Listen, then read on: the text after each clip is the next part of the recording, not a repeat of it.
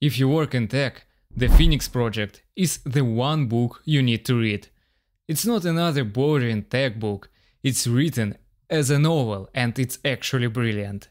The story follows Bill Palmer, a freshly promoted VP of IT operations at Parts Unlimited, a company that's falling apart. Systems are crashing, projects are failing, and Bill has weeks to save it all. You meet a chaotic executive team, and everyone's go fix it guy and brilliant engineer Brent, and a mysterious mentor who teaches Bill core DevOps and IT management principles through the manufacturing factory analogies.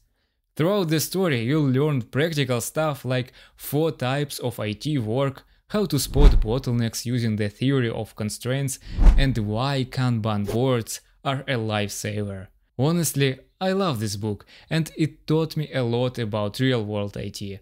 Wanna know more about it? Check out my full book review on the YouTube. Links in the description or bio. Trust me, you don't wanna miss the Phoenix project. This one is definitely worth your time.